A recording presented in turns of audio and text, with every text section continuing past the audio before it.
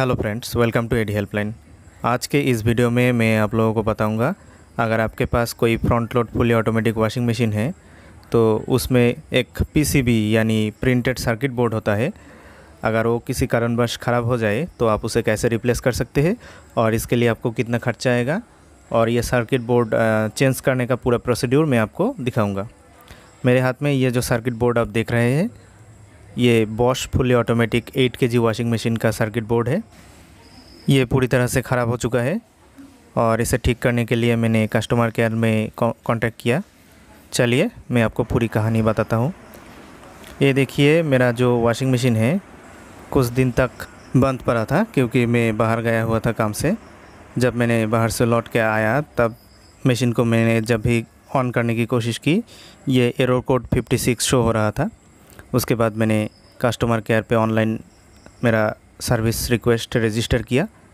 आप चाहे तो आप भी ऑनलाइन रजिस्टर कर सकते हैं, आपका कोई कंप्लेंट है तो। और आप कैसे ऑनलाइन रजिस्टर कर सकते हैं, आपका कंप्लेंट बॉश के वेबसाइट पे इस रिगार्डिंग एक वीडियो ऑलरेडी चैनल में है। इस वीडियो का लिंक डिस्क्रिप्शन में मिल जाएगा आपको। और अगर आप ऑनलाइन रजिस्टर करना चाहते हैं आपका कंप्लेंट तो पहले बॉश का वेबसाइट में जाके आपका जो प्रोडक्ट है, उसको पहले वहाँ पर रजिस्टर करना पड़ेगा। और आप कैसे ये रजिस्ट्रेशन करेंगे, इस रिलेटेड वीडियो ऑलरेडी चैनल में है, इसका लिंक भी डिस्क्रिप्शन में मिलेगा। जब टेक्नीशियन विज़िट किया मेरा घर पे तो पहले मशीन का जो ऊपर वाला पार्ट है, उसे उन्होंने खोला। और मशीन का जो टॉप पार्ट है, इसे खोलने के लिए मशीन के बैक साइड पे दो स्क्रू है। दोनों स्क्रू को खोलने के बाद ऊपर वाला ये पार्ट आसानी से खोल सकते हैं आप। ऊपर वाला पार्ट जो था, इसे हटाने के बाद हमने देखा, यहाँ पे कम से कम 20 से 25 कॉकरोचों ने यहाँ पे घर बना लिया था और एक एक करके हमने उन कॉकरोचों को भगाया। और इन कॉकरोचों ने क्या किया, ये जो पीसीबी है, इसके ऊपर कॉकरोचों ने टॉयलेट किया। इससे क्या हुआ, पीसीबी का जो वायरिंग है, ये पूरी तरह ख़राब हो गया और जब इस पर मशीन को ऑन किया मैंने तो ये पूरा शॉर्ट सर्किट होके ये पीसीबी बिगड़ गया। तो उसके बाद उन्होंने बोला इसे रिप्लेस करना पड़ेगा और ये रिप्लेसमेंट वारंटी के अंडर में नहीं आता है क्योंकि ये कॉकरोच ने ख़राब किया। इसलिए इस पीसीबी का जो प्राइस था वो मुझे ही पे करना पड़ा, लेकिन इस पीसीबी को लगाने के लिए जो सर्विस चार्ज या टेक्नीशियन भाई साहब का जो विज़िट है, वो मुझे नहीं पे करना पड़ा क्योंकि मेरा मशीन वारंटी पीरियड में ही था। इसका एज टू ईयर से कम है अभी। देखिए, ये जो पीसीबी ख़राब हो गया था, इसे रिप्लेस करने के लिए दूसरा जो पीसीबी लाना पड़ेगा, वो आपको सिर्फ़ बॉश का जो टेक्नीशियन आएँगे, उनके थ्रू नियरेस्ट सर्विस सेंटर से ही मिलेगा। आप खुद से इसे रिटेल में परचेस नहीं कर सकते।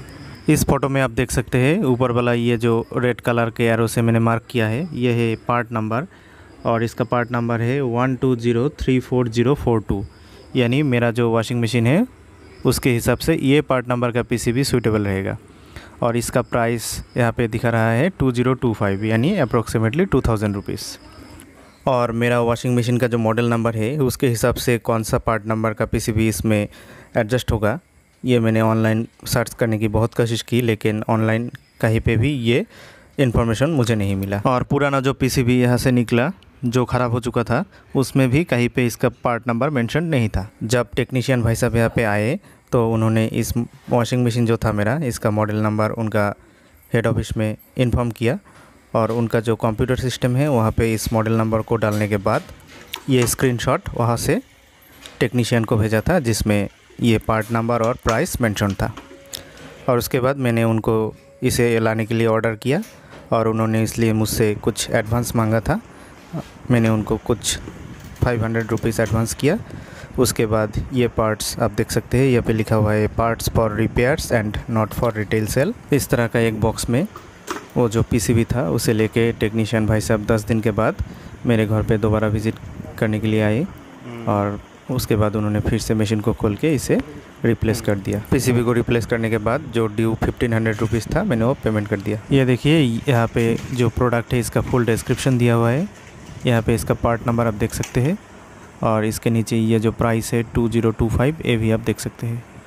और आपका वॉशिंग मशीन के लिए पीसीबी या कोई भी पार्ट्स अगर बिगड़ जाता है तो उसके लिए फिक्स्ड एक पार्ट नंबर होता है।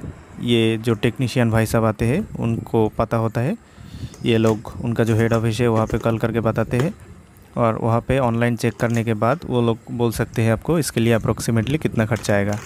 मैंने इस पार्ट का जो प्राइस है वो कितना है, इसको चेक करने के लिए ऑनलाइन ट्राई किया बहुत, लेकिन कस्टमर्स के लिए ये कितना प्राइस में आता है, ये कोई लिंक अवेलेबल नहीं है। ये जो मैंने स्क्रीनशॉट दिखाया था, इसका प्राइस कितना है, ये वो टेक्नीशियन भाई से भी मुझे दिया था। इस स्क्रीनशॉट को उनका जो हेड ऑफ़िस है, वहाँ से इनको भेजा था, उसके बाद ही उन्होंने मुझे बताया इसका प्राइस कितना है।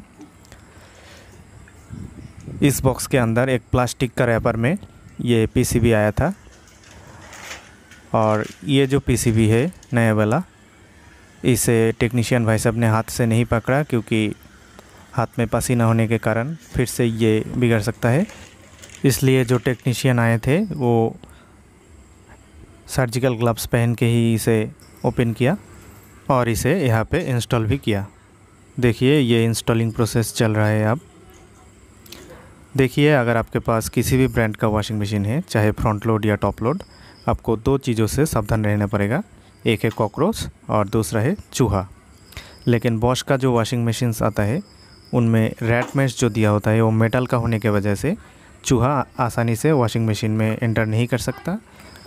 लेकिन कॉकरोच आसानी से ही आपका जो मशीन है, उसमें एंटर कर सकता है। क्योंकि अगर आप मशीन का जो बैक साइड है, वहाँ पे देखते हैं तो आपको बहुत सारे ऐसा होल्स दिखाई देंगे, जहाँ से कॉकरोच आसानी से मशीन में प्रवेश कर सकते हैं। इसलिए अगर आपका घर में कॉकरोचों का आना जाना रहता है तो आप एक काम कर सकते हैं। यहाँ पे जैसे मशीन का ऊपर वाला ढक्कन हटाया है, ऐसे ही आप ऊपर वाला ढक्कन हटा के कुछ नेपथलिन बॉल्स मशीन के अंदर डाल सकते हैं। आप चाहे तो कुछ नेपथलिन बॉल्स को मशीन का जो स्टैंड है, उसके नीचे भी रख सकते हैं। क्योंकि आप जानते हैं नेपथलिन का जो स्मेल है वो कॉकरोचों को पसंद नहीं है, इसलिए नेपथलिन बॉल्स डालने से कॉकरोच यहाँ पे टिक नहीं पाएँगे। और फिर भी अगर कॉकरोचों को आप भगा नहीं सकते तो आप एक काम कर सकते हैं, मॉर्टिन या दूसरा कोई भी ब्रांड का जो कॉकरोच किलर स्प्रे आता है, उसे आप मशीन के नीचे या साइड में स्प्रे कर सकते हैं। देखिए, ये इंस्टॉलेशन कंप्लीट हो गया है। मशीन पहले जैसा फिर से काम कर रहा है। आप कोई एरर कोड यहाँ पे नहीं देख सकते हैं आप। तो आप लोगों ने देखा, कॉकरोचों के वजह से मेरा दो हज़ार रुपये का नुकसान हो गया है। और ये वारंटी में नहीं आता है, ये मुझे पहले से नहीं पता था। अगर आपके घर में भी कॉकरोचों का आना जाना रहता है तो आप पहले से ही सावधान हो जाए और आपका नुकसान होने से आप बचिए। वीडियो को लास्ट तक देखने के लिए धन्यवाद। अगर वीडियो को अच्छा लगा है तो लाइक कीजिए और चैनल को सब्सक्राइब कीजिए।